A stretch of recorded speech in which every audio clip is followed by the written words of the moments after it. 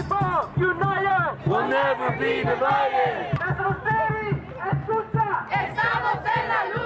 For me, the walking aspect of it was putting myself in those immigrant shoes, the same shoes that my mother and myself wore when we crossed here.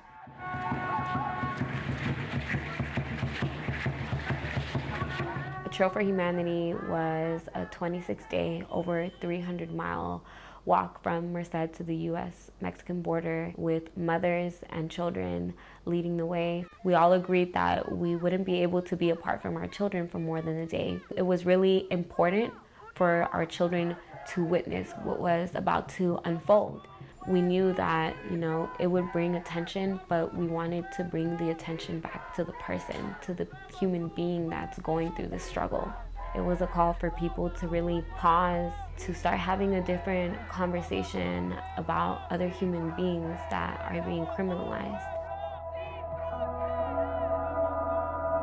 Women who are crossing over um, for them it's not an option of if they're going to get raped. They know they're going to get raped.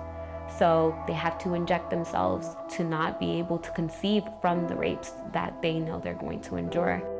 For the children, you know, being in these detention centers, knowing that they're being fed at 5 in the morning and 5 in the afternoon, that at times they're so thirsty they're drinking water out of the toilet.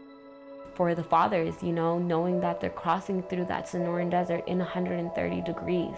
They're not putting themselves through 130 degrees because they want to, it's because of the necessity.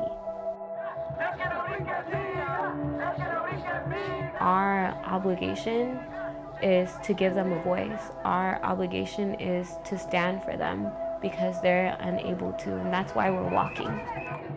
When we walk like those last miles um, to the border, one of the UC Berkeley students who is undocumented, one thing she said that it really like tore me and made me check my privilege.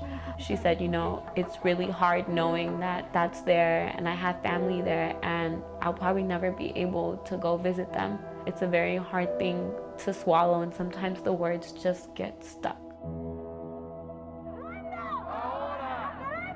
I don't think I could have been able to actually realize my full potential if it wasn't for UC Berkeley we gave a piece of ourselves to um, the free speech movement that started 50 years ago, that we carried on um, that legacy and took a piece of that on the road.